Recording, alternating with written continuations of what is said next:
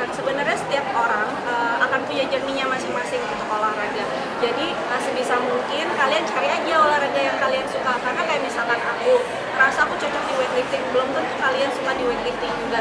Jadi jadiin olahraga itu lifestyle karena nanti hasil yang konsisten itu bakal akan lihat hasilnya weightlifting weightlifting yang dikerjakan oleh kak kakak seperti apa sih?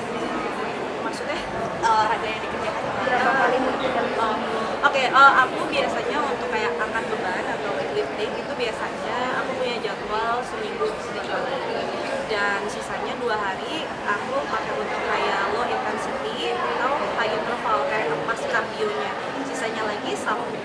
Itu minggu itu kadang-kadang aku pakai untuk ya, istirahat jadi jadi jadi dari olahraga berat badan kalau aku kenapa suka weightlifting karena manusia uh, harus punya otot yang bagus supaya kita nanti tetap bisa bertahan sampai tua kalau kita nggak punya otot walaupun itu cewek kita tetap harus punya otot karena kita nggak akan bisa menopang hidup kita. Kita nggak akan bisa ngelakuin kayak cuma ngangkat berat atau ngangkat nanti anak anak kita atau misalkan mindahin barang otot itu penting dalam hidup kita. Jadi sebisa mungkin aku mau masih produktif dan masih muda menurut aku. Jadi sebisa mungkin aku tetap membangun masa otot aku jauh jauh lebih baik supaya tetap bisa beraktivitas dan sehat di ke belakang Andrea tapi pengen punya otot nih kan digandungin oleh pria. Cowok cewek semuanya punya otot.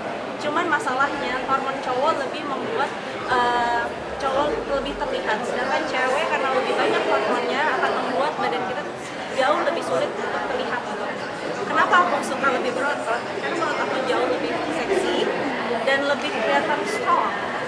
Karena uh, bukan hanya sekedar pengen langsing tapi dapetin bentuk tubuh yang ideal yang menurut aku ideal kayak misalkan orang suka putih nggak mungkin ngedapetin putih kalau misalkan nggak olahraga